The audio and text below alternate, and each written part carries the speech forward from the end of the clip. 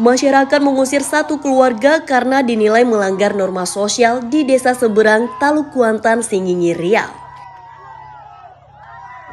Warga tidak terima atas perilaku seorang perempuan berinisial S lantaran memiliki dua suami atau poliandri yang dinilai tidak wajar.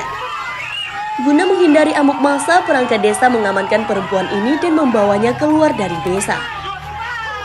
Jadi sanksi adat kalau ada yang melakukan hal-hal seperti itu biasanya disuruh pergi dari kampung atau membantai kerbau putih. Jadi kalau memastikan dia punya suami dua, saya tidak sampai sekarang tidak ada bukti sama saya. Jadi itu laporan masyarakat pada saya. Perangkat desa masih terus menyelidiki kebenaran tudingan warganya tersebut.